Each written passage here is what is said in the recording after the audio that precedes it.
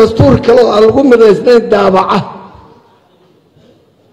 Dalka darajadu raba ha lahaado xilku raba ha u hayo wixii ka yimaada isagaa mas'uuliyaddaas ciddii waxaa samaysay baa qaadaysa.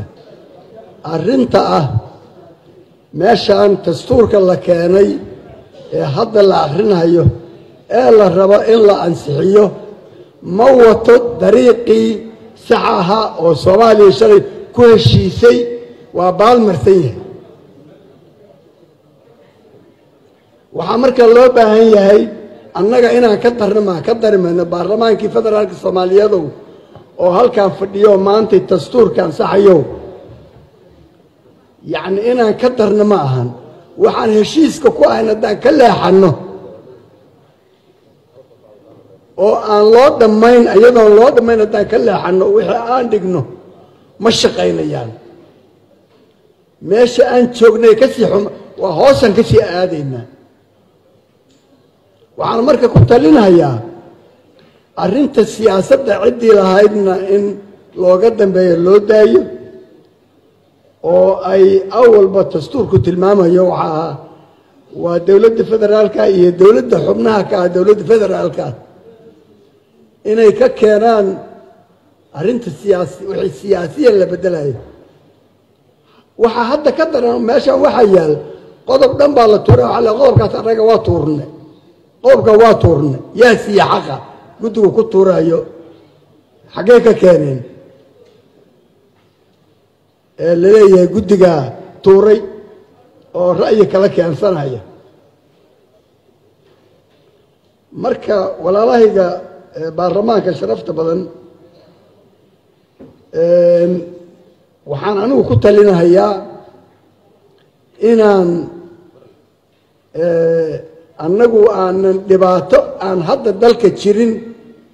Dalku hadda wuxuu ku midaysan yahay dastuurkaasuu ku midaysan yahay dalku hadda. Ninkii dastuur kale oo aan lagu midaysnayn daabaca. Dalka darajadu raba ha lahaado xilku raba ha u hayo. Wixii ka yimaada isagaa mas'uuliyaddaas ciddii waxaa samaysay baa qaadaysa.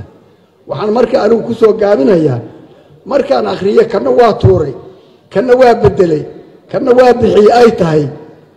Haddii arrintaasi maahan dastuurkan haddii ay ku heshiiyaan madaxda federaalka iyo madaxda dowlad goboleedyadu haddii ay ku heshiiyaan in la bedelo guddi khubaraha sida ragga hadda soo diyaariyoo kale baa loo dirahayaa waxaan waa la bedelahayaa wixii laga heshiiyaana la bedelahayaa. Waxay u aragtaa in nuxurka dastuurka cusub uu farsabad ahaan ku dhisan yahay talamaroosi khatar ku keeni kara xasiloonida iyo wadajirka dowlad dhiska soomaaliya.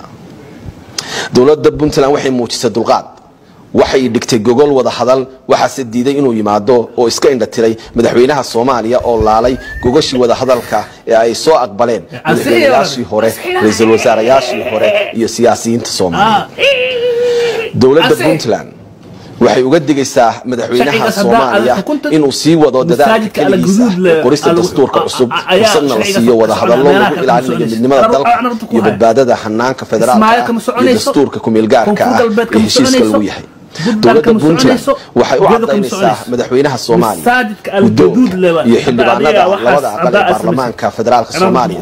madaxweynayaasha dowladaha xubnaha ka ah dowladda federaalka ee soomaaliya iyo beesha caalamka ee daneeya arrimaha soomaaliya gaar ahaan waddamada maraykanka britain midooda yurub qaramada midoobay midooda africa denmark sweden germany switzerland norway qatar turkiya iyo imaaraadka. In haddii la meel mariyo iskudayga samaynta dastuur cusub aysan dowladda puntland u hogaansami doonin aqoonsana doonin kuna dhaqmi doonin wax kabedel kasta oo lagu sameeyo dastuurka dalka oo aan heshiis lagu wada ahayn dowladda puntland waxay u mahad celinaysaa dadka soomaaliyeed beesha caalamka iyo cid kasta oo gacan wax ku oola ka geysatay dadaaladii loogu jiray dowlad dhiska soomaaliya. intaasna waxaa ku eg qodobtiyeedka ay caawa soo saartay dowladda puntland ee xubinta ka ah dowladda federaalka ee soomaaliya